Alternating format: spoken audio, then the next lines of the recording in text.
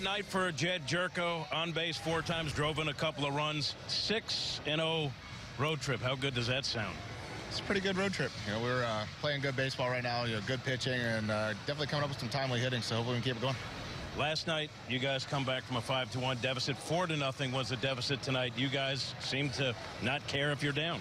No, with the way we're swinging the bats, we know we're going to score runs. We just got to keep keep throwing good at bats out there, and the runs start coming. Your at bats have been very consistent. Your base hit where you drove in two, you get a fastball, you take it the other way. Are you using the whole field more so this season? Uh, trying to, you know, just taking uh, taking what the pitchers are giving me, uh, not trying to be too overly aggressive or too greedy. Just getting a good getting a good pitch, put a good swing on it. We're seeing uh, great contributions from the youngster Sierra, also Tommy Pham. How much of a spark have, have those guys given you? They've been a lot. You know, Tommy swinging the bat huge, especially in that Atlanta series, swung the bat here, here well, and then Sierra, he's he's fast. He puts the ball in play, and he can get a hit at any time. You've been pretty good too. Thanks, Jedd. Yeah, no, thank you, Jim. No, thank you. It's Jedd Gyorko.